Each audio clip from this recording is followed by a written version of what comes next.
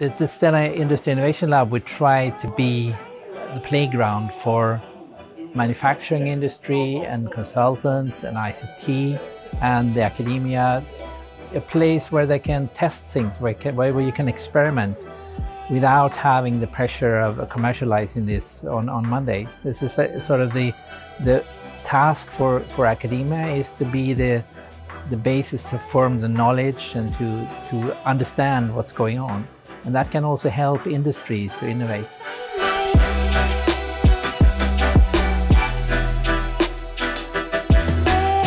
Chalmers as a university is very closely related to all the automotive industries around here, of course.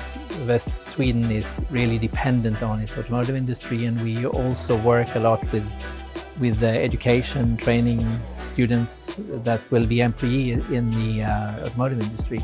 Right now there's a huge change going on in the west coast of Sweden where the electrification is changing the, the circumstances and the possibilities for for automotive industry to compete in the future. And we really really would like to help as much as we can in this. And we are helping in the sense that we are creating the laboratory and experimental um, facilities for battery production for not only battery the production of batteries but also where, where do you want to, to have the batteries after they're produced well, you need to put them in the cars. And that the way you put them into cars and assemble them is quite a, a new manufacturing process. It's, it's ergonomically problematic, it is, uh, has safety issues, it is difficult in the, with the present equipment. We want to use robots, collaborative robots, where people and robots uh, work together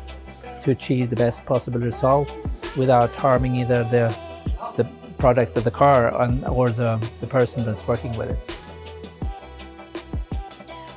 First of all, Cognizant can help you to build the strategy, which is more outcome focused.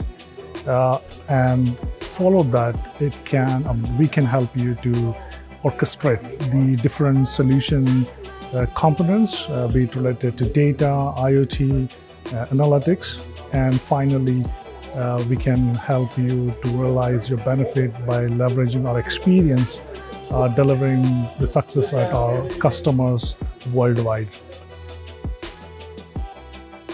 On the purpose of the electrification of, uh, of uh, automotive industry, I would say it's a no-brainer. The last JEC report that was recently published really urge us with innovations to decarbonize our cities, our industry, and also the mobility.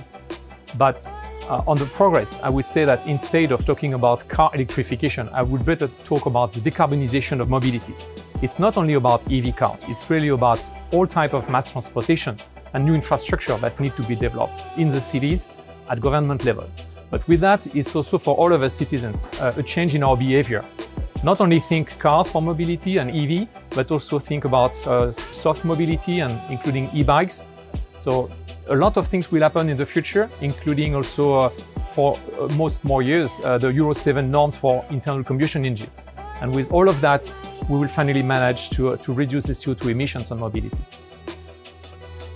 Secure the sustainability supply chain uh, and the processes around um, batteries is really a hot topic today. And um, in addition of what we see, there is now the scarce supply of raw materials, making this even more challenging.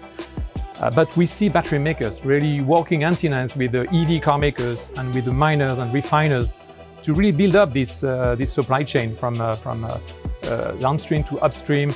And that includes also the, the, the retreat materials.